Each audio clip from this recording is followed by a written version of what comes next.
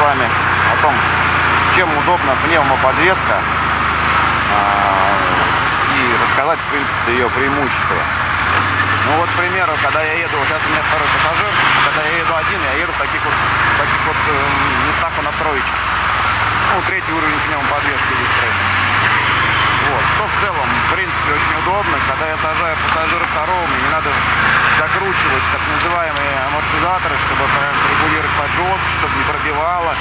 И чтобы, соответственно, э, мягкость одновременно была, а не слишком жесткая.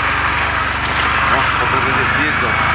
Вот, э, поэтому вот в целом я пока, пока, пока где-то еду, например, на четверке, когда сейчас пойму, что мне все-таки пассажир у меня порядка где-то 80 килограмм сидит, а не будет хватать клиренсов, ну, то есть э, жопы будут задевать, я просто переключаю в режим пятерки, у меня приподнимается еще там на каких-то там 3 сантиметра, ну, где-то, наверное, 2-3 сантиметра прибавление в клиренсе. Ну и, соответственно, у меня последний есть так называемый, это э, спасающий вариант, это шестерка, прям в самом высоком уровне, но на ней нельзя, э, называется так, активно ездить потому что режим отбоя амортизаторов, он уже становится такой достаточно никакой.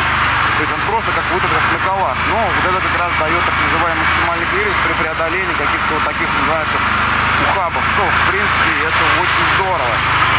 Вот, и не приходится как раз вот заморачиваться постоянно с настройкой амортизаторов. Ну, чуть дальше я буду пробовать вам демонстрировать в этих местах.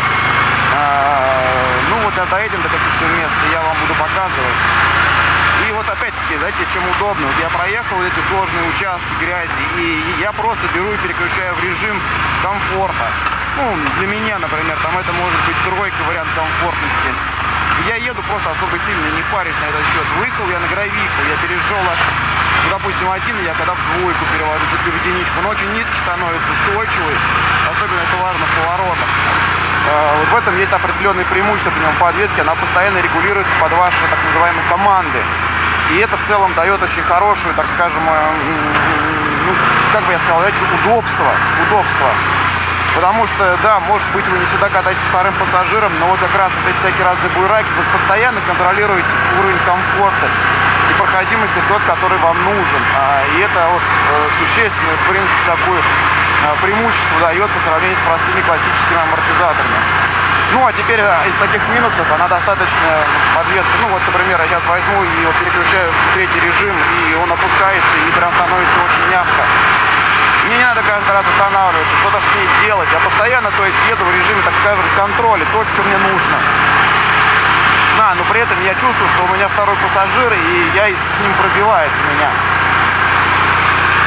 Вот, как бы в целом, да, вот такие моменты есть. Поэтому, ребята, ну, вот какие-то вот примерно, конечно же, есть, как, как всегда, везде плюсы и минусы. Вот, так.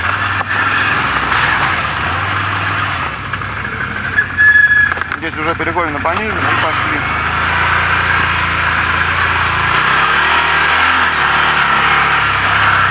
Ну, вот это так, пока еще в простом третьем режиме, но уже надо на четверку переходить. Я вот нажал и перехожу на четверку.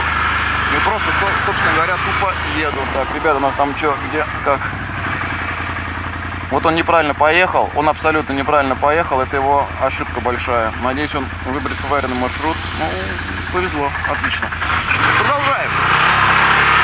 Продолжаем, ребят. Дальше по поводу подвески.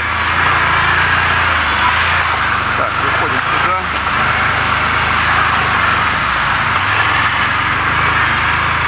Так, вот здесь нам уже будет, конечно, четверки не хватать. Я вот переключаю в пятый режим, это предмаксимальный. Вот таких вот буйраков. Опять-таки скажу еще одно но, что, допустим, такие форматы это э, езды больше туристического назначения.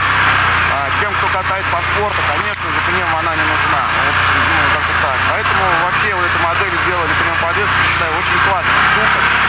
Но сколько бы, например, ее бы не говорили про нее хорошо или плохо, у нее есть свои недостатки. Эти недостатки проявляются именно, ой, туда заехать, нам надо Здесь как раз у нас сейчас будет так называемый максимальный клиренс нужен. Бам, зацепился.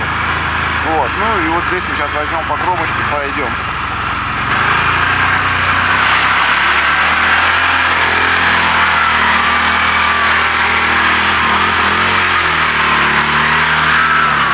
прошли. примерно как-то так вот это все идет дело. Ну, я думаю, теперь в целом вам понятно. Будете для себя какие-то определенные выводы сделаете, стоит избавляться, стоит избавляться от пневмо. Поехали дальше.